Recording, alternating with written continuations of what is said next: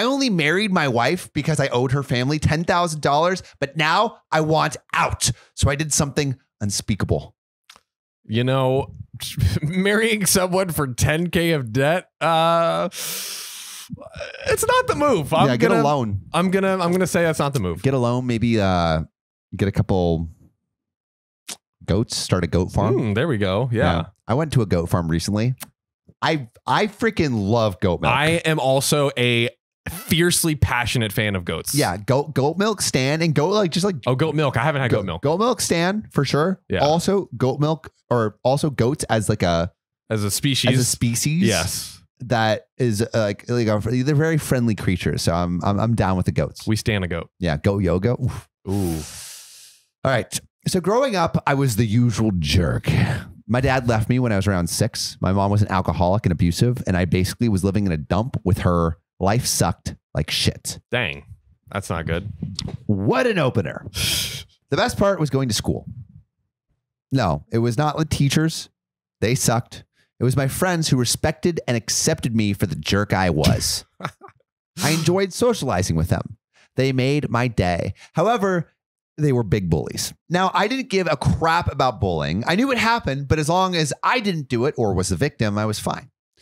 In comes the shy, scared, nervous looking girl in middle school. Oh goodness. My girlfriends began to group up. My girlfriends began to group up and bully her for almost a couple of weeks, and I didn't care. I wasn't going to take part or be the victim. I just wanted to F and finish school at the time. The bullying continued for the girl. She would cry, hide, and try to stay away from school as long as she could. But then my friends locked her in a locker once, but I stopped them.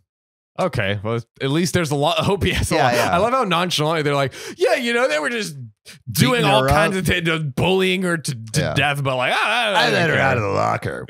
I'm a good I'm a good person. Yeah. um, because I let her out, I guess she used that opportunity to get to know me. When my friends skipped school, she would come and talk to me or sit near me at lunch. She would share her lunch with me since I had nothing. She helped me with my homework, which I had no idea about. She began to pay me to like help her, I guess, which I liked. I guess in return, I stopped my friends from getting to. I guess in return, I just stopped my friends from getting to her. I owed her that. As Yeah. years went by, she invited me to dinner with her parents. We would hang out together and she'd pay for everything, which again, I liked. Hmm. I liked her, but she loved me, Ooh. if you know how that feels. As time continued to go by, I got my driver's license at 17. The problem was that a car would cost a lot of money and insurance for a young person like my and insurance for a young person like myself was a lot. So I asked her parents for the money, saying I will pay them back.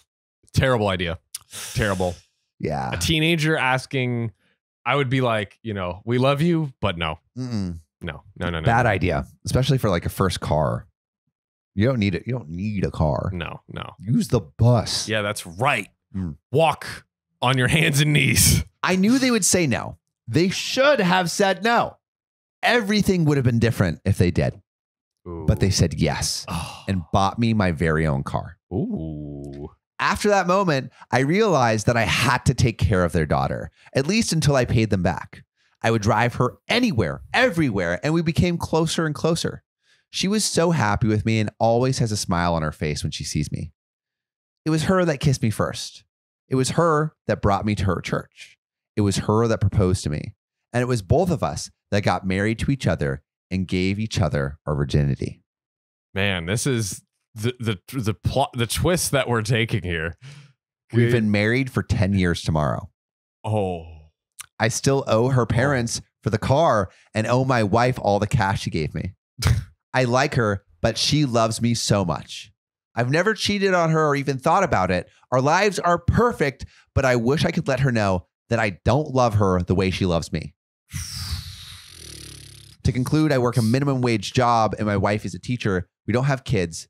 She loves me so much, but if I could, I would take it all back. I would. This is my confession. There is an update. oh my. There is an update. Oh, but there, this this post blew up and there's a bunch of comments. right, right, right. So here's some. I don't know, man. It sounds like you do love her. I mean, you truly love her in the most important ways. You protected her when she needed it. You stuck with her for years through everything. She supported you in your time of need as well. And her family has been very supportive of you, it seems as well. All these things are a great foundation for a relationship. Well, didn't didn't always protect her, but Yeah. I get I get the but after, sentiment. yeah, after, and also it's like there's all these like myths of love where it's like you have to feel this certain way, but really Mhm. it's just like at the end of the day, It becomes it's a practicality in yeah, many like in many like, senses. but like love love looks different for everyone, yeah, and I think you know it can look it can look like just showing up every day for Yeah. this person, which true. it seems like OP has. Or OP hates their wife and wants to run away to Canada and get a face transplant. Could be that too. All right, wait, and one more comment. yeah, yeah. You love her, you just have some mystical concept of love that you don't think you have. Mm. Love is something that, and another comment love is something that grows over time if it's nurtured. Be each other's best friend, be happy. Okay, so there's a, basically a bunch of comments like that. Yeah. So, update. Ooh. Today, I took my wife out to lunch for our anniversary. When I saw her cute face, I immediately felt different. This is due to the fact that my thread blew up, which lots of advice yesterday night. So, I went through all of that. Nice. I want to thank you guys and girls. You know who you are. You made me think of my wife differently today. It was the first time that I actually told her I loved her without forcing myself to say it. At first, I muttered it under my breath, and my wife asked what I said. I tried a second time, and again, I couldn't speak up. Then I said it loud for a third time. My wife smiled, and her face turned all pink. We remained quiet for a little. We remained quiet for a little while until she began to ask me about my day. We talked for a little while before visiting her parents. I told her parents that I would start paying them back for the car they'd bought me when I was in my teens. They told me not to worry. They told me not to worry about it. They were happy that I remember and visit them, even though it wasn't their anniversary. We talked for a couple of hours. My wife and I returned home. It was then that I opened Internet Explorer. Internet Explorer, who uses that? yeah. And yeah, yeah. If you want to wait like a great, billion years, great browser choice. So Yeah. Uh, we make the whole story about Yeah. that. and Oh. asked her wife to look at my th- and asked my wife to look at my thread. We sat down together and she read it. She began to cry while reading it and hugged me so tight. The last time I t- the last time I saw her cry was on our wedding night, and it was tears of joy, according to ac- according to her. I told her I realized that I was treating her unfairly. I told her I wanted to be more loving towards her. I told her I loved her and she was my life. She told me Wow. that I was her life, that I saved her from killing herself, and that without me, she wouldn't be happy. At this point, I was crying. My wife is currently sleeping. To conclude, I want to thank you all again for the advice. For the people that told me to pay my debts and leave her, I realized that I will stick my I I have realized that I will stick by my wife till death do us part, till death do us part, like I promised 10 years ago. She is my life right now, and I don't have to, and I don't want to have anyone by my side but her. Good night, wow. Wow.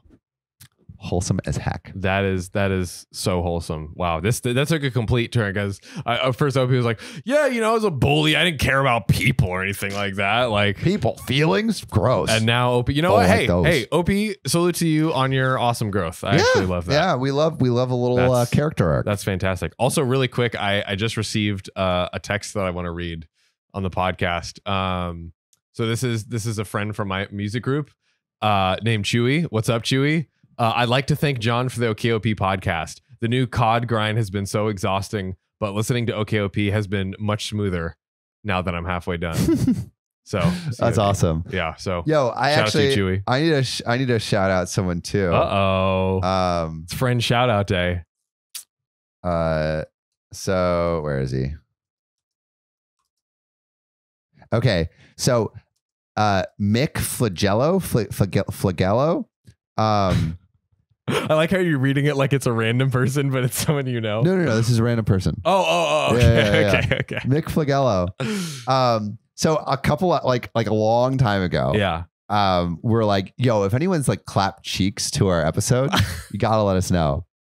And Mick is first thing he ever DM'd me. He said, cheeks have been clapped to your voice. and he's like following up with podcasts, not a random message. A big fan of you guys. Listen while I edit for work. And Mick is from San Diego, and he's like, dude, you should do some like live shows too. Um, Ooh. and he says forever in San Diego to hit him up. Hell yeah. Um, oh, he also said, "I'm listening to asking strangers questions, and right after you ask 60 miles per, uh, right after you ask the 60 miles per question, And right after you asked the 60 miles per hour question, it hit me with continue your education at the nation's top university at ASU. I effing lost it. It was timed perfectly. That's so funny. That's amazing. Shout out to our ads, baby. Shout out to Mick. Oh, yes. If you like this story, check out this story of someone who also cares for their wife, but maybe a little too much when they called the cops on them. Nice.